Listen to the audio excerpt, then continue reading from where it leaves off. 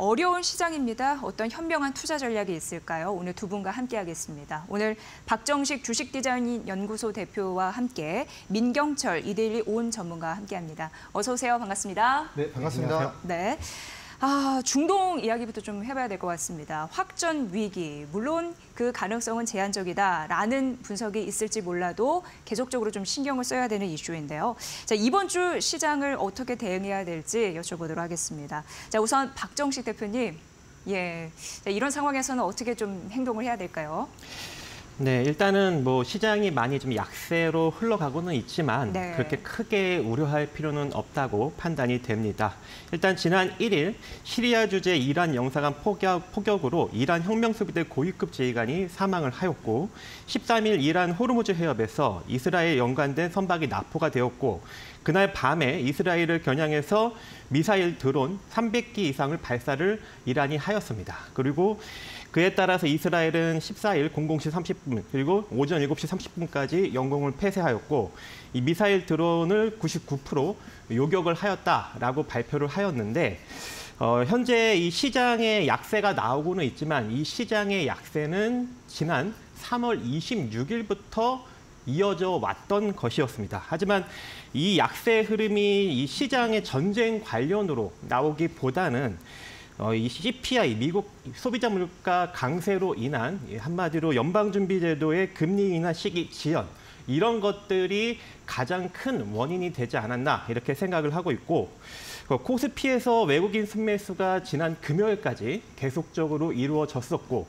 또 거기에 과거에 2022년 2월 24일 시장이 하락이 아니, 과거 그 러시아와 우크라이나 전쟁이 발생이 되었는데 이때도 시장의 하락력이 제한적으로 나왔습니다. 그래서 이번 시장의 하락도 어, 단기적인 관점으로 좀 제한적으로 나타나지 않을까라고 생각을 하고 있고 이번 시장, 시장 하락을 어, 계기 삼아서 우리가 좀 그동안 이제 매수를 못했던 종목을 좀 시일을 두고 저점 매수로 가는 것도 좋지 않을까 생각을 해봅니다. 시장은 그 물가 충격에 이어서 중동 리스크까지 첩첩상중 같습니다. 한심 안심할 수가 없는 그런 상황인데요. 그렇다면 시장의 하단은 어디까지 좀 봐야 될지 민경철 전문가와 함께 알아보도록 하겠습니다. 지난주 금요일에 2,580선 수준까지는 지켜내야 된다라고 했는데 아직까지 이 선을 터치하지는 않았습니다만 안심할 수는 없는 상황입니다. 혹시 변화가 생겼습니까? 어, 예. 변함 없이 그대로 2,580에서 2,600포인트 구간에 방어하는지 여부를 관심 있게 추적해야 된다라는 의견을 드리도록 하겠습니다. 네. 먼저 코스피 지수의 단기적 관점에서는 최근 저점 가격이 낮아지고 고점도 낮아지면서 이제 우하향 추세라고 부르죠. 역추세 구간으로 접어들었습니다. 하지만 큰 그림에서의 차트를 보면은 어, 최근 우리 코스피 지수의 차트를 보면서 좀 부연 설명을 드렸을 때 자, 저점 가격이 최근에 계속 높아져 나가는 이 우상향 추세를 아직 이탈하지는 않았다라고 저는 좀 판단을 하고 있고요. 자 그렇기 때문에 과거력을 봤을 때 우리가 많이 무너진 다음에 기술적 반등이 나오고 또 많이 무너진 다음에 기술적 반등이 나오곤 했었던 이 추세를 이탈하지 않을 경우에는 한번더 기술적 반등이 들어올 가능성이 높다라고 좀 보시면 될 것 같습니다. 그래서 최근 우리 코스피 지수의 흐름을 봤을 때 1월 달 폭락한 저점에서 한 8주에서 9주 정도의 상승이 나왔었고 이 상승 파동을 마무리하고 조정 파동으로 접어들었을 때 2,580포인트와 그리고 2,600포인트 구간의 반등 여부가 중요할 것 같은데요. 자, 과거에 이 구간이 과거에는 지지선이었는데 그 지지 라인 대를 이탈하고 저항받았습니다. 근데 그 저항받았던 가격대를 6개월 동안 돌파하지 못하다가 최근 들어서 이제 뭐 금리 인하에 대한 기대감, 반도체 광풍 등등의 모멘텀을 가지고 과거의 매물대를 강하게 돌파하고 시세 분출하고 다시 그 시세를 반납한 눌림목 구간대까지 조정을 받게 된다면은 과거에는 2,850, 2,600포인트 가격대가 최근 2021년도 2월달 이후에 2022년도 2월달 이후에 거진 2년 넘게 저항받았던 매물대였으나 그 매물대를 돌파했고 최근 저점 가격이 높아져 나가고 있기 때문에 이 추세 하단에서는 어, 코스피 지수가 뭐 중동 전쟁 리스크가 있다 하더라도 우리 기술적 반등의 가능성을 좀 베팅을 하시는 게 좋을 것 같다라는 의견 드리도록 하겠습니다. 자 다음은 우리 코스닥 지수 관점에서 좀 반등 예상 지점에 대한 부분들을 점검을 해드릴 건데요. 자, 10월 달부터 저점 가격을 아직까지는 계속 높여나가는 우상향 추세를 이어나가고 있습니다. 자, 물론 단기적 관점에서는 최근 보름 정도 코스닥 지수가 크게 조정을 받았는데요. 큰 그림에서는 어, 최근 830포인트와 그리고 825포인트의 가격대를 방어해주는 모습을 보여주고 있기 때문에 자, 과거에는 동 가격대가 이제 지지선이었으나 이탈하고 저항받고 저항받고 돌파하고 지켜주다가 지금은 돌파했기 때문에 과거에 돌파한 825포인트와 그리고 830포인트 가격대가 앞으로 미래 시점에 코스닥 지수의 반등 예상 네, 구간이다 이렇게 좀 정리를 드리도록 하겠습니다. 네, 큰 변화는 없는 걸로 일단 그렇게 정리를 하겠습니다. 자, 우리나라는 참 아쉽게 대외 악재의 출렁거림이 심합니다. 1970년대 오일 쇼크 이런 부분도 겪은 바가 있습니다. 삼고에 시달리고 있습니다. 고물가, 고유가, 고환율. 그래서 중동 리스크가 만약에 안 좋게 흘러간다면 여기에 더 충격을 주지 않을까라는 우려감이 있는 게 사실입니다. 자, 환율 전망을 좀 해봐야 됩니다. 최근 1년 5개월 사이에 그 선을 뚫어냈으니까요. 현재도 1,383원 70전을 가리키고 있습니다. 박정식 대표님, 1,400원까지 열려 있다라는 소식이 있습니다. 지속적으로 원화 약세 예상이 되는데 어떻게 우리가 판단하고 환율 이슈 접근해 봐야 될까요? 어, 과거 달러가 달러가 좀 강세를 보였던 2022년 9월 이 달러 가치를 나타내는 달러 인덱스가 114포인트를 찍었습니다. 이때 원달러가 1,444원 정도를 고점으로 기록을 하였기 때문에 지금 현재 달러 인덱스 106선에서 우리 원화는 1,384원을 왔다 갔다 거리는 그런 수준으로 움직이고 있지만 현재 이 외국인 수급, 예전에 2022년 9월까지는 외국인 수급이 지속적으로 빠져나갔다면 지금 지난 금요일까지 외국인 수급이 지속적으로 유입되고 있는 실정으로 보았을 때 어, 1,384원을 기술적으로 만약에 넘어서게 된다면 1,408원 정도가 제한적으로 고점으로 형성되지 않을까 이렇게 생각을 하고 있습니다. 네. 자, 유가 얘기도 해보도록 하겠습니다. 민경철 전문가님께 여쭤보도록 하겠습니다. 시티그룹에서 뭐 이미 뭐 100달러 넘어설 수 있다라는 가능성이 있고 이란이 적극적으로 개입을 한다면 호르무즈 해협 이 부분이 봉쇄가 된다면 뭐 유가 150달러까지도 오를 것이다. 자, 이런 분석이 과연 현실화될지 안 됐으면 좋겠습니다만 어떻게 보시나요? 우리는 대응이 중요한 영역이기 때문에 예, 좀 그 의견을 여쭙겠습니다. 네, 일단은 가정이 중요한 것 같습니다. 이프된 구조에서 만약에 전쟁이 발발한다면 그리고 호르무즈 해협을 봉쇄한다면 이라는 전제가 붙는다면 위로 100불, 150불까지도 상승 가능성이 존재한다라는 것에 대한 부분들은 동의합니다. 하지만 지금 이제 유가의 수요가 중국의 경기 침체 구간 그리고 고금리 구간에서 어떻게 보면 환율도 높아지고 있고 주요국들의 경제가 미국을 제외한 국가들의 경기 침체에 가깝다라고 저는 생각을 하기 때문에 자, 유가의 수요만 놓고 봤을 때는 뭐 유가가 100불 이상 올라갈 가능성은 낮다. 단 전제 조건이 자, 중동 지역에 전쟁이 발발하면 중동에서 생산한 원유를 뭐 해협을 통해서 이제 운반을 해야 되는데 그 운반이 중단되면서 공급이 이제 줄어들고 공급이 줄어들면 자연스럽게 가격이 올라가는 그런 수요와 공급의 논리, 로 인해서 중동 전쟁이 발발되거나 해협이 막히면 유가가 상승할 수 있다라는 가능성이 존재하는데요. 일단은 특별한 케이스에 대해서 이런 일들이 발생됐을 때 유가가 올라갈 수 있다라는 연결고리 메커니즘을 이해하시고 우리가 주식시장 그리고 이데일리 TV를 시청하시면서 만약에 이제 해협이 봉쇄됐다.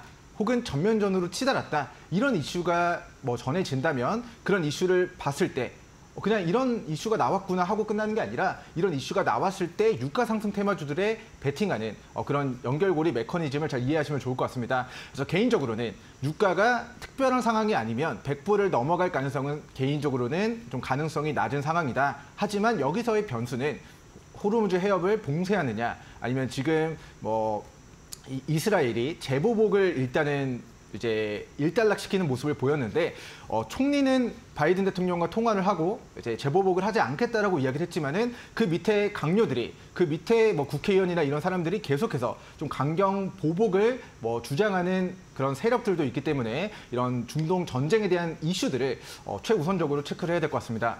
네. 근데 이제 문제가 개인들이 그 올해 들어서 유가 하락에 베팅한 세력이 있거든요. 이 부분을 좀 어떻게 출구 전략이 있을지 박정식 대표님 예, 전략이 있을까요? 예.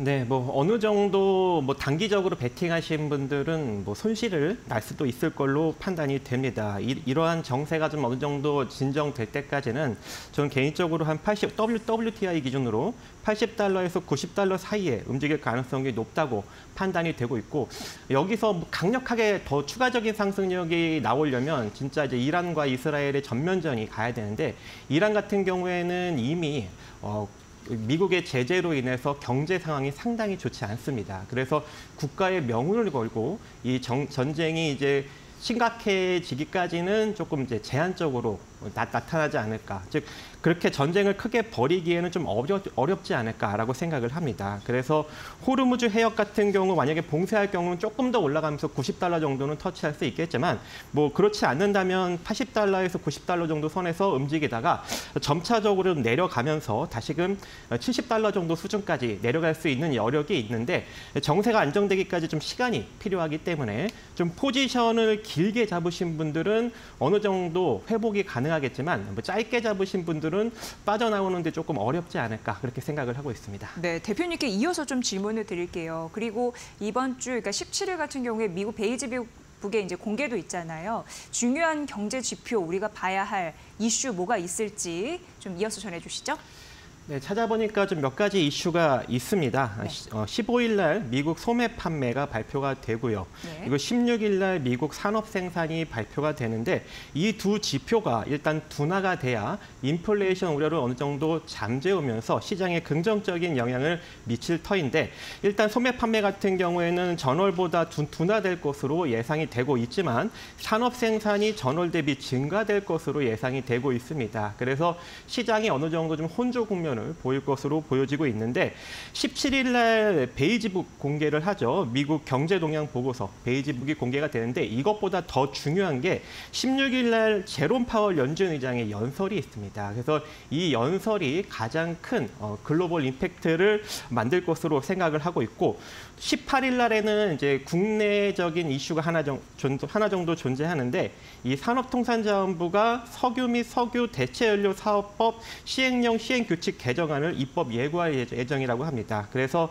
어, 오늘부터 보면 이 대체 연료 관련 종목들이 좀 상승력이 나타나고 있는데 이번 주 내내 이 이슈로 그 관련 주들이 조금 단기적인 강세를 보이지 않을까 그렇게 생각을 합니다. 네. 또한 19일 날 현대건설이 1분기 실적을 발표를 하는데 지난 2013, 2023년 1분기 영업이익이 1,735억 원인데 이번 1분기 예상 영업이익이 1,944억 원으로 좀 높게 발표될 예정입니다. 그래서 지금 시장의 하락력과 맞물려서 일정 부분 조정을 받았을 때 저점 매수를 해 놓는다면 19일 날 1분기 실적을 기점으로 단기적인 반등력을 우리가 취해 볼 수 있지 않을까 생각하고 있습니다. 네, 이어서 그것도 좀 봐주세요. 유가 급등 수혜주로 거론되는 게 정유, 조선, 플랜트입니다. 어떤 전략을 가져가야 될까요?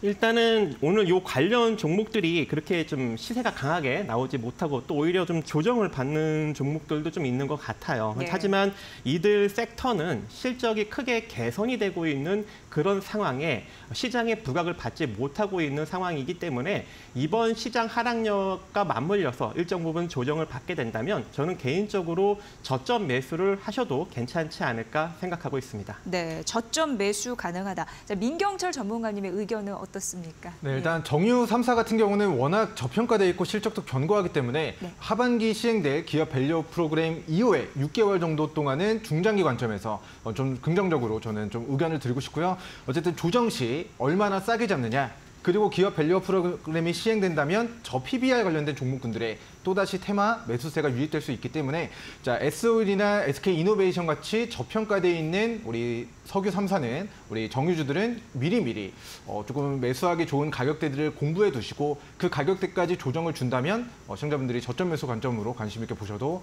좋을 것 같습니다. 네, 시장이 뭐 불확실하다 보니까 안전 자산의 수요가 몰리고 있습니다. 금 투자 에도 어, 궁금하신 점 많으시죠? 박정시 대표님 금 투자는 예, 좀더 가도 되는 건가요? 어떻게 보세요? 일단은 네. 뭐금 선물 관련 투자는 지금 사상 고공행진을 하고 있기 때문에 많은 재미를 보셨을 거라고 생각을 합니다. 하지만 그 관련 주식들은 어, 조금 등락을 번복하고 있고 그렇게 강력한 상승력을 보이지 못하고 있는 종목들도 상당히 많이 존재합니다. 그 관련 주로 엮인 종목들이 뭐 엘컴텍이나 뭐 고려아연, TKG 애강, 한컴미드, MK전자 뭐 이런 종목들이 있습니다. 근데 이런 종 목들이 최근에 상승력이 뭐 단기적으로 뭐 급등력은 보여주지만 지속적인 상승력을 만들어내지 못하고 있고 또 이 금값이 올라간다고 해서 이들 기업들의 실적이 크게 개선되는 것은 아니기 때문에 그냥 이슈적으로 짧게 치고 빠져나오는 단기적 관점으로 접근을 하시는 것이 유리하지 않을까라고 생각을 하고 있고 물론 지금과 같이 이게 금이 지속적으로 상승력이 나타난다면 일정 부분 눌렸을 때 우리가 또 단기적으로 접근을 해서 뭐 하루 이틀 정도 시세 강- 강한 시세를 좀 우리가 가져가는 그런 투자 전략도 괜찮다고 판단을 하고 있습니다. 네, 민 전문가님 국내 증시를 받쳐줬던 반도체주의 변화가 좀 생길까요? 어떻게 보십니까? 아, 일단 오늘 이제 추세 이탈의 흐름이 나타났다고 생각이 됩니다. 삼성전자가 8만 2천 원짜리를 이탈하고 어, 지금 8만 1,600원 가격을 지나고 있는데요. 밑으로 7만 9천 원짜리 그리고 7만 7천 원짜리까지 가격 방어를 잘 해주는지를 좀 체크를 해야 될 것 같고요. 자 이스라엘에 있는 인텔이 CPU를 생산을 좀 차질을 빚게 될 수 있다라는 우려가 어떻게 보면 삼성전자, 하이닉스 반도체 종목들의 투심 악화로 이어지고 있습니다. 그래서 이런 전쟁 리스크들이 불식되고 우리 CPU가 인간의 뇌라고 한다면은 저장 공간이 D램이거든요. 그래서 네. CPU 와 D램의 그런 조화가 잘 맞아야 되는데 어쨌든 인텔 쪽에 전쟁 리스크가 부각되고 삼성전자도 조정을 받고 있기 때문에 밑으로 7만 9천 원과 7만 7천 원짜리 반등 여부 체크하실 필요가 있을 것 같습니다. 네, 이어서 이번 주 관심 종목 어떻게 생각을 해볼지 좀 전해주시죠. 네, 일단 저부터 먼저 이야기를 드리겠습니다. 네. 자, 종목은 흥하이온 종목을 이야기를 드리고 싶은데요. 자, 흥하이온 종목의 대주주가 이 동 종목의 주식 약 5% 정도를 블록딜, 시간의 블록딜로 물량을 처분했다라는 이슈가 전해졌습니다.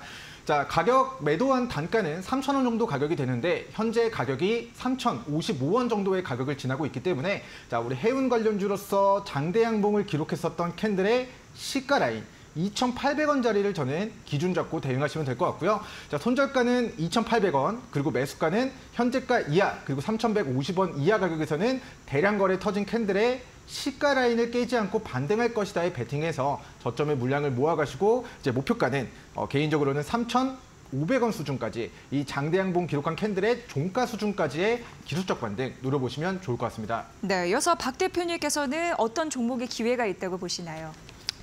일단은 뭐 종목들보다는 좀 테마 섹터로 보는 게 좀 좋을 것 같습니다. 이번에 좀 원자재 가격이 많이 올라가고 있죠. 구리, 알루미늄 상승력이 강력하게 나타나고 있고 특히 알루미늄은 오늘도 강한 상승력을 보이고 있는 상황입니다. 그로 인해서 어, 이 알루미늄 관련주, 뭐 이제 이런 종목들을 우리가 관심 있게 지켜볼 필요성이 있을 것 같고 구리 가격도 지속적으로 상승력이 나타났기 때문에 뭐 서원이나 이구 산업 같은 종목들도 지속적인 상승력을 보일 수 있습니다. 거기다가 어, 이번에 아까도 언급, 언급되었다시피 석유 및 석유 대체연료 사업법 시행령 시행규칙 개정안이 입법이 얼마 남지 않았기 때문에 그 관련주로 뭐 에코바이오 같은 이런 대체연료 관련 종목들도 상승력이 나올 수 있어서 그런 종목들을 좀 살펴보시고 이 반도체 다음으로 이제 주목받고 주목받을 수 있는 섹터를 제가 이제 찾아본 결과 자동차 섹터가 좀 주목을 받지 않을까라고 생각을 합니다. 지난 3월 26일부터 지금까지 시장이 좀 하락력이 나왔을 때 외국인이 이 전기전자 업종에 5조 원을 투입을 했고 또 그 다음으로 운수장비 업종에 5천억 이상을 투입을 했기 때문에 어, 반도체 다음으로 후발주로 올라갈 수 있는 섹터가 자동차가 되지 않을까라고 생각을 하고 있고 특히 현대차 같은 경우에도 3월 북미 최대 실적을 기록을 하였습니다. 그래서 이제 실적 피크아웃 우려도 어느 정도 해소가 되었기 때문에 특히 저는 개인적으로 현대 위아가 좀 저점 매수로 좋지 않을까 생각을 합니다. 네, 이 전략 잘 참고해 보시기 바라겠습니다. 마켓 이슈까지 함께했습니다. 박정식 주식디자인연구소 대표와 민경철 이데일리 오은 대표님 어, 두분 수고 많으셨습니다. 잘 들었습니다.